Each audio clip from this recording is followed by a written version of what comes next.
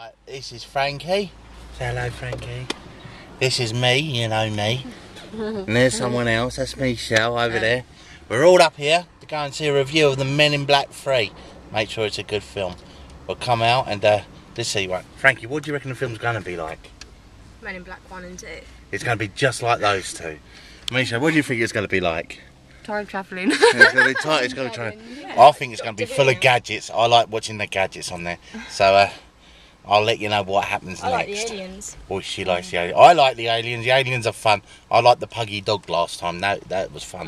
No, I They like look, the, they I don't like look the scary, one. They look I liked hilarious. I like the one that was um you know that little little alien dude Yeah. in his head. Oh yeah, yeah. Yeah, That was fun. The Men in Black promises to be a good film. Definitely Let's was see. Murphy's We're pick. going to grade it out of ten. I go out of ten stars. So this is the before. Men in Black. Definitely go and see. I'll give it about eight out of ten stars. Yeah. Like 9 out of 10. Nine out of ten. Would you give it? Nine. Nine out of ten. Be careful. Take a hanky. Good film. You're mainly gonna cry. Yeah, I cried. laugh I to cried. I cried. You're gonna laugh more than you cry. Yeah, definitely. But it's good.